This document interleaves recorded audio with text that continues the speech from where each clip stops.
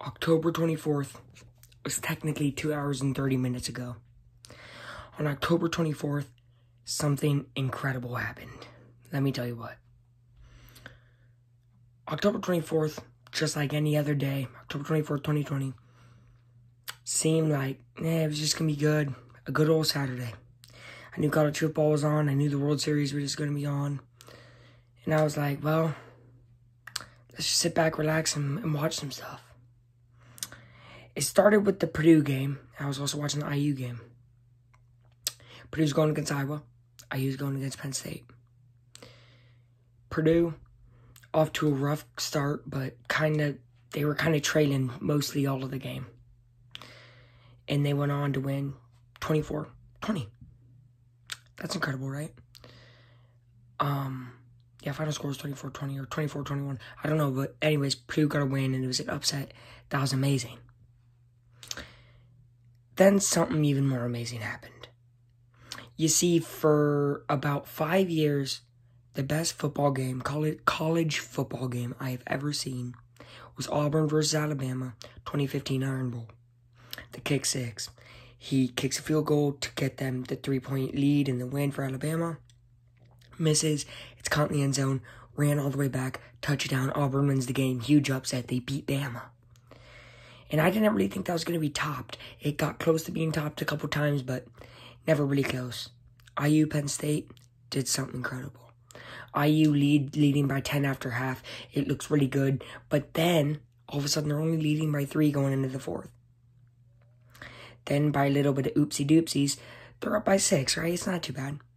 Then a touchdown happens, and it's like, uh oh, IU, get back. Then Penn State makes a big mistake, gets a touchdown, goes up by 8 a minute and 36 seconds left. And it's like, oh my God, as an IU fan, I've seen it so many times lately. They haven't beaten a top 10 ranked team like Penn State was, who's number 9. They hadn't beaten them since 1987, 33 years. At that time, my dad was 16. How old, old am I right now? 16. Crazy, right? Let me keep going. What do they do? Michael Penix, the man who came in for Peyton Ramsey, who I loved, because, well, Ramsey had to come in for him last year. I loved Peyton Ramsey. He went to Northwestern. Don't know how he did tonight. I, I hope good. I, I like Peyton Ramsey a lot. Penix came in. It's the first time I've ever got to see Penix play. And he didn't have too great of a game. They needed eight points. what did he do? He trudged down that field. Went in to try to get a quick QB sneak. Oh, there's a timeout called. Wow. 27 seconds. What are they going to do? Score in five seconds. 22 seconds left. He runs in the end zone, right? He runs in the end zone. And now they need to go for two. What does he do? He runs again and gets in. We're a tie ball game. Just kick it off. Let Penn State kneel it. Let's go to overtime. The kicker, for some reason, we're pretty. Sh- I'm pretty sure the special teams coach told him onside kick it, onside kick it, give it to Penn State at 50 yard line. They line up for a 57 yarder. He kicks it. It's looking good for Penn State he misses. One of the most incredible things. Now, IU gets it, they need it. They're like, we're going overtime. We're, you know, we're fine with overtime. Awesome. So then, Penn State, they, they get the ball first. Four plays. Four plays. I'm pretty sure. Four or three. They score a touchdown really fast, get an extra point. Indiana doesn't look as easy. It's third and goal though, luckily rolling out. Penix throws a dime to the corner. No, no, no, to the to the right side of the end zone. Touchdown. It's it's incredible, right? It's like magic. But it ain't over yet. They they need the extra point.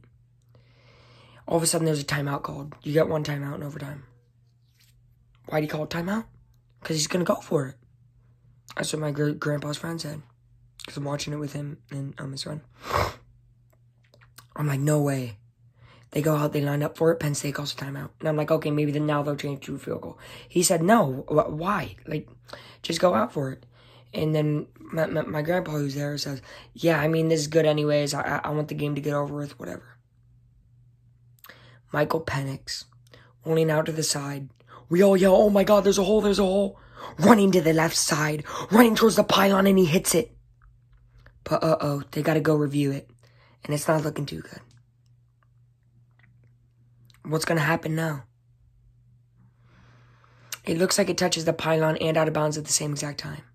But earlier in the game, there wasn't enough reviewable evidence, they gave they gave Penn State the call. Not looking good. Looking like just another Indiana L against another great team. And it just looks sad for Indiana fans. I mean, obviously Purdue won, but not not everybody here is a Purdue and Indiana fan like me. I'm Indiana above Purdue for for you, Grant. Got to tell you that just to make you know that. But I still support both because I got parents and loved ones who like both. Anyways, with that being said, I've been watching IU for so long, and I was like, oh, it's not gonna happen. He walks out there to make the call. The ruling on the field stands. Indiana wins the game. I run down this big hallway that, that my grandpa's friend has, right? And I'm like, oh my God. And I'm yelling, and I'm jumping, and I'm super excited. And I hug my grandpa, and I'm like, this is amazing. This is the greatest college football game I've ever watched. And it is. And then we go home, and the World Series is on, and I'm like, cool. World Series is on. This has already been the best college football day maybe I've ever seen. Like, it's just been two incredible games. And there's an incredible Rutgers upset against Michigan State. Just all these incredible things that had happened. How could this World Series top it? I mean, down 2 1, I want the Rays to win. Can, can they even win this game? They trade punches back and forth. Rays get a home run, and then the Dodgers get an RBI. Dodgers are up by a little bit, but then bam, Brandon Lowe, three run home run, puts them up by one. Dodgers don't care. Dodgers go ahead and go up by one. So then the Rays say, screw it. No, we're tying you. And then the Dodgers in the eighth inning go up by one. Bottom of the eighth, the Rays don't score anything. Top of the ninth, it's a it, takes four batters, but but the Rays get out of it, right? They have a guy on first base, doesn't matter. They get out of it. All this excitement, trading punches back and forth. And and what I would consider already one of the most hectic days of sports can things really keep going right for me as a fan? I mean, is there ever a break for the little guy? Do you ever get everything that you want in a certain day on October 24th? Well, a guy named, oh, I can't remember his name, but that's the type of guy he is, right? Comes up after Arozarena, who, who, who, who me and my grandpa wanted to hit a home run just get the game over with, right? Hit a home run. He's been the most electric, best player in the MLB lately. Doesn't matter. He gets walked. First and second base. Second base, Kevin Kiermaier. The longest tenured Ray. He's been on the team for so long, he deserves this. Arozarena on first. He he freaking deserves this too, right? He um came from Cuba to help his parents um, in America, and then he played in the Mexico League, and he's 25 year old rookie, breaking not even just rookie records, but records. Period. He's been incredible. He's at first base, and there's random n- nobody comes up. He's over 2 in the postseason. Hasn't done nothing. Never heard of him in my life. One and two count. I, I look over. I look over my grandpa and say, "This man's the biggest bum ever. He's costing the Rays the game." I said the same thing about Brandon Lowe earlier, and he hit a three-run home run. It's like God is trying to tell me, don't talk trash, especially for teams that you love. And I don't usually do it because Rays aren't really a team I love, it's just a team I'm rooting for. It didn't matter.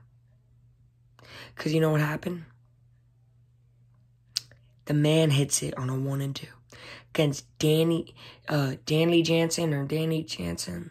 I don't know, his last name's Jansen. He's been one of the best closers for years.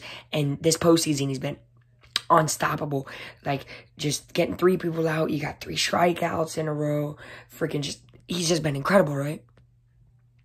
He gets a hit into into midfield. Kiermaier easily in off of that hit. Because Kiermaier's fast. Arozarena around third. The guy bobbles it though. So the freaking hitter goes to second. Whatever, you know, that might be a distraction, who knows. They they they throw it to um Muncy I think. Yeah, Max Muncy. And he's the cutoff man. And then he throws to the catcher. Catcher's Will Smith, not the guy from the movies, but um a different, just Will Smith, the baseball player, the catcher. And he can't catch it. Arozarena dives in. But here's what's crazy. During the replay, you can see something. which is so motivational, and this is part of the reason I'm making it so much. None of these guys gave up, but especially Arozarena. Penix obviously ran in and just didn't stop running. He just put the team on his back. He said, Indiana, I'm doing this for you. Purdue, they, they had their defense not stop and said, hey, we're going to be gritty till the very end. Rutgers said, screw all this. Hey, we haven't beaten a Big Ten team in a while. So what? We're going to put, we're going to put freaking wherever Rutgers is located on our back. I don't know. Sorry. Right? That's incredible. Arozarena, rounding third, trips, falls. You can only see this in the replay because you don't see it live. You're like, he's he falls. And you know why it's about to make me cry? Because that's why I love sports. My man falls. And that explains what's been happening with him. He goes from Cuba to help his mom, then plays in Mexico, comes back with, with the with um with the Cardinals. Cardinals unsign him. He gets COVID. Now he can't be signed. The Rays sign him, give him a chance. He he doesn't have like he gets signed in like August or something, right? So he gets signed at the end of the season. You know, he's a, he's a nobody as a rookie. And then all of a sudden, in this postseason, he just explodes. And then in that moment, he looked human. And he hasn't looked human, he's looked like a superhero all postseason. He falls down. He gets back up, thinks the catcher is about to catch it, so he has to go back to third. Turns around, sees his basement coach saying, pointing to home, because Will Smith didn't catch it.